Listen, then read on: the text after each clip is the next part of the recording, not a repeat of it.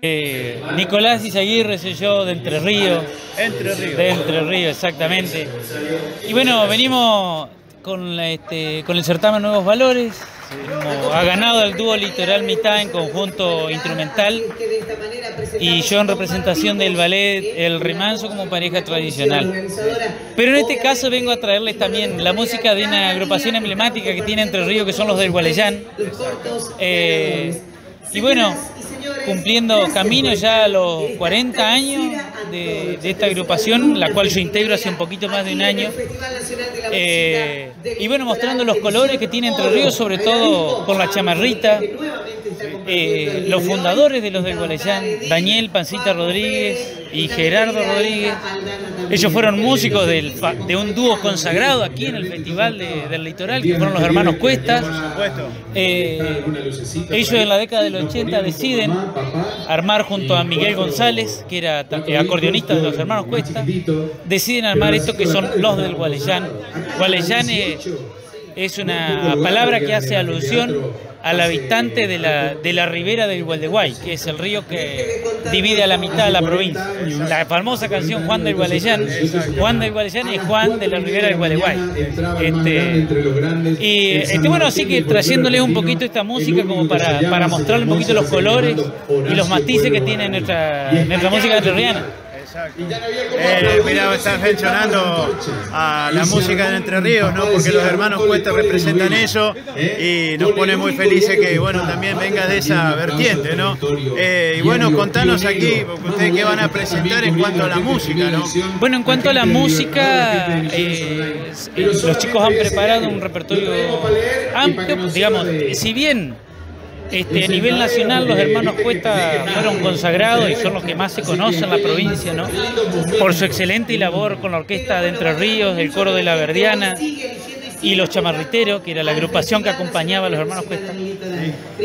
Los chicos han traído un repertorio de este, El Mundo Pérez. El Mundo Pérez es uno de los grandes chamameceros que tenemos en Entre Ríos y es quien hace el rescate cultural de un género que nace en nuestra provincia, una música de oraje que es el tanguito liso, tanguito montielero.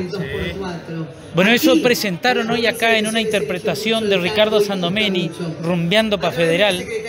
Es una música de sobrepaso que muy mencionada por Mario Millán Medina en su, obra. Chamamé de sobrepaso, tangueadito bailaré, dice en el rancho La Cambicha, que haciendo alusión a nosotros. Este, bueno, también trajeron música de, este, de Abelardo Di Mota, que en el, el chamamé de Entre Ríos adquiere características propias con Abelardo Di Mota, digamos, y la tonalidad en menor, ¿no? La articulación entre el acorde menor y el acorde mayor. Este, eh, también trajeron, eh, bueno, chamarrita también en la autoría de, Mundo Pérez, un rajido doble eh, de mm, Javier Smith, que es otro de los grandes acordeonistas que tiene la, provincia, que es, de la, contemporáneo él, de la ciudad de Ramírez, ahí cerquita de Paraná. Eh, y un poquito, bueno, eso es lo que se presentó en el tiempo que, que nos brindó la comisión. Este, y bueno, y en la pareja de danza vinimos en representación del Ballet del Remanso. El Ballet del Remanso es un, ballet que dirige Eduardo Godoy y Aileen Colacelo. Eh, ellos están actualmente radicados en Aldea María Luisa, que es una, es una aldea... Sí, sí, sí, cerquita de Paraná, 20 kilómetros de Paraná. Eh, y la característica de este ballet que ha hecho mucha impronta en la danza enlazada y en la danza del litoral. La chamarrita, el chamamé, el regido doble, en todo eso que nos caracteriza a los entrerrianos, ¿no es cierto? Eh, entonces vinimos un poquito también trayendo nuestra bandera entrerriana con, con el ballet del remanso. Vos sabés que nombraba a todos esos autores, eh, todo lo que le llaman el tanguito montielero. Sí. Y nosotros tenemos un colega que es Oscar Zaragoza. Ah, Oscar, sí. Es la, Biblia de todo eso y, me recuerda todos esos nombres, todo esto que Bueno, Oscar es compueblano mío porque yo soy de Crespo. Muy bien. Este, y bueno, Oscar sí, siempre negro, el negro, sí, apoyándonos siempre, este, difundiéndonos. Eh, él está a cargo actualmente una de las grandes políticas de Estado que tiene el municipio de Crespo, fue llevar adelante, adelante y sostener una de las subsedes de Precosquín, que es este, la gestión de Darío Schneider. Ininterrumpidamente se ha hecho en estos cuatro años la subsede Crespo del, del certamen Precosquín. Así que, y todo eso a cargo de Oscar Zaragoza, que es uno de los entrañables amigos que tenemos allá. ¿no? Por supuesto, ¿no? Eh, así que mira vos, eh, qué lindo acá en el litoral que también Entre Ríos se sume, porque esto es importante para generar un movimiento cultural y lo decimos todas estas noches, ¿no? que el público lo celebra en sus danzas, en el baile que se suma al escenario. La verdad que muy lindo y que ustedes también traigan la danza de Entre Ríos buenísimo, ¿no? Este, sí, nosotros muy contentos, por supuesto, de mostrar humildemente lo que, lo que venimos haciendo y tratar de, este, humildemente, mostrar los colores que tiene Entre Ríos, sus autores, eh, la poesía, bueno, no pudimos llegar a la poesía, pero tiene muy buenos poetas.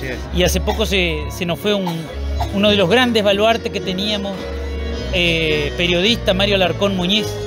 Eh, él es el, autor del ciclo Entre Rianías por LT14, uno de los ciclos que con más identidad cultural que ha, que ha calado muy hondo este, en nuestra provincia y él ha sido uno de los más grandes referentes, maestro de ceremonia de los festivales más grandes y sobre todo de federal del Festival de Chamamé. Así es, Entre Ríos que conforma también esto ¿no? de tener su independencia en lo musical y lo cultural, porque son muchos los poetas, los autores, compositores y también los que transmiten la música. Así que bueno, una alegría encontrarte aquí en el festival. Gracias para Radio Municipal, también estamos transmitiendo en, duplex para Buenos Aires, para Radio Tupac. Así que gracias. Bueno, hermano, muchas gracias y un abrazo grande a todos nuestros hermanos misioneros. Muchas gracias. Y una pregunta, ¿qué te pareció el público posadeño? Oh, espectacular, espectacular, hermoso. La verdad que, mirá, íbamos a venir primero este día nada más, pero después pensando dijimos, vamos a quedarnos, a vivir desde adentro el festival.